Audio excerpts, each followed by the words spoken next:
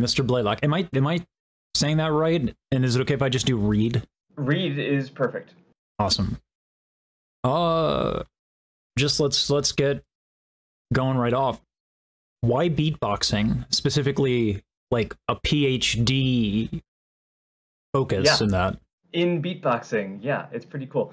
Uh, I I'm really happy that I got to do this. Uh, I I have a PhD in linguistics, which is the science of language and languagey things. But I did my whole dissertation on beatboxing. Uh, Wow. So sometimes I have to say that I have a PhD in beatboxing science. uh, uh, the the reason I got into beatboxing in the first place is because I was asked to.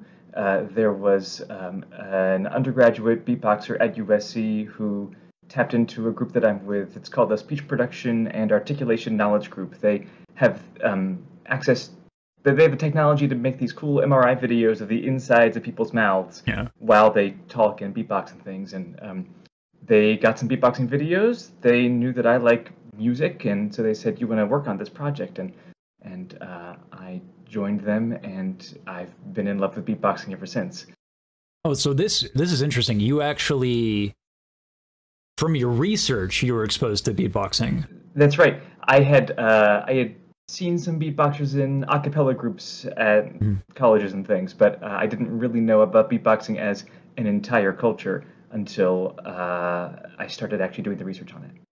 Huh. Yeah. It's interesting. Um, In your email, you said that you don't exactly know who is uh, at the top of the food chain and uh, at the moment. It's true. Uh, things things move pretty quickly, and my head's been buried in my data. So I, I watch YouTube videos. I uh, I watched some of the uh, most recent Grand Beatbox Battle, uh, and and I, I try to keep up with things. But um, I usually rely on the beatboxers I know and who I work with to uh, tell me what to focus on and what's important. Yeah, that's fair. Uh, as you know, it's funny.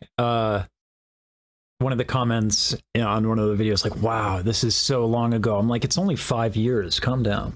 and it's like, I'm gonna. It's pretty soon. I'm gonna yell at kids to get off my lawn.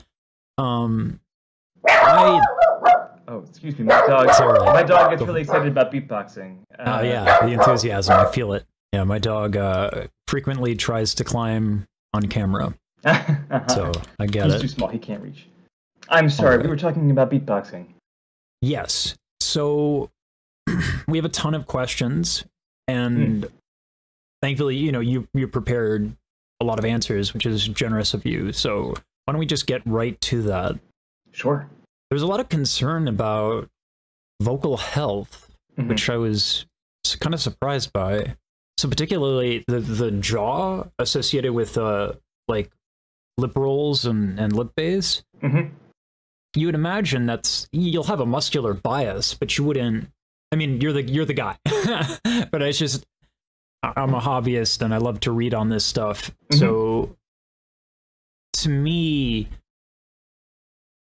what are the consequences of that? You know, it's it's a really good question, uh, and nobody knows yet.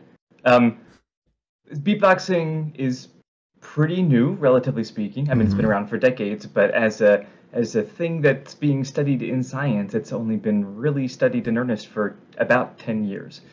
Um, and so we don't have good longitudinal studies like across decades of beatboxers and what happens to their bodies. So Um, we don't know what NaPoM will be doing 10 years from now for Nope. for lip rolling for 10 hours a day like this. Nope, no clue. Uh, Uh, it- you know, it's it's one of those things where um, I should say I am not an expert on uh, on like vocal health. Um, I feel it's important to say that because even though I have a doctorate in beatboxing, it's not quite the same as being an expert on on jaw health. But yeah, um, yeah. but but I do know that uh, in terms of getting the the research um, done, like in order to find out the answers to these kinds of things, um, we need more beatboxers to go and find people who can study these things, actual uh, speech pathologists or people who study the musculature of the voice.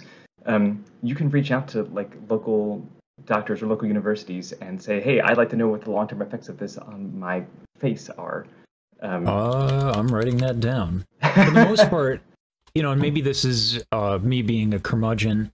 Uh, first of all, hold on, reach out to Did you say like phoniatronics and uh, other academics, vocal health. Yeah, anybody who's got uh, a medical degree or somebody who specializes in, you might be able to, to talk to a. There's a lot of different speech scientists out there, or Yeah. scientists who work on the voice, um, and a lot of them are looking for cool research projects to do to get funding and that are related to the body and health. And uh, beatboxing would be a really good opportunity for them and for beatboxers. That's interesting because like the the I was assuming like there's this ivory tower and you were this noble individual, which you are. You're a noble individual, but Well.